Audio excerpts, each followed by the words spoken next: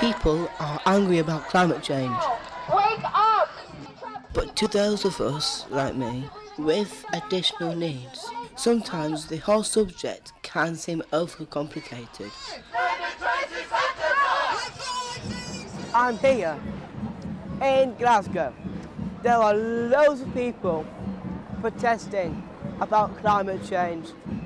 And I want to know what they think. Why are you so angry? I think we're angry because we're just constantly being ignored and we're being lied to. We're being told things that aren't actually true. Leading this demonstration was Patience Nabukalu, a young activist who had travelled all the way from Uganda. Why are you here today? All right, um, I'm engaging in this to show that the power is in the people, not in the world leaders. That it's us who are experiencing the crisis, not them. From the chants to the banners, people at the protest were highlighting the urgency of the crisis that we are facing. How can we help people like me to understand climate change? It's so complicated. It can often feel very complicated, but it's at the heart of climate change. It's quite a simple story. We're burning and creating a lot of pollution to drive our societies, and we just need to change that. Mortality rates for children with disabilities under. But how are people with additional needs actually affected by climate change? People with disabilities, a lot of them live in poverty that a lot of them live in areas where impact and climate change effects are taking place.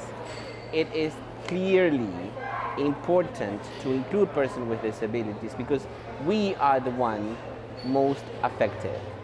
I didn't realize that climate change could be even more dangerous for people like me. But will the actions of world leaders be enough to solve the problem? I put this to the president of COP26, Alok Sharma. Is it time for less blah blah blah and more action? It is absolutely time for less blah blah blah. And you know, I've spoken to lots of young people uh, who are really quite angry that world leaders haven't done enough. And we heard the, the, the, voices from the world leaders here at the start of this conference. And what I'm now trying to do is to work with their negotiators and their ministers to make sure we translate those words into commitments and action. So you're absolutely right. Keep holding us to account. Thank you. Thanks, Ruben. But when I caught up again with Patience, it was clear that the answers like these are simply not believed. They should stop wasting our time. We are running out of time. Their presence and attendance at COP has to be of use to us, not to them. I want them to stop pledging. We are fed up of the pledges. They are, are, are pledging for the future. They are the solutions that they're holding for the future. What about now? We need climate action now. Yeah. Yeah. From speaking to people like Patience, who are already feeling the effect of climate change in their country. It was obvious to me that there is a huge gulf between what activists say must be done and what politicians are committing to. Well, COP26 has been overwhelming for me. But what have we learnt?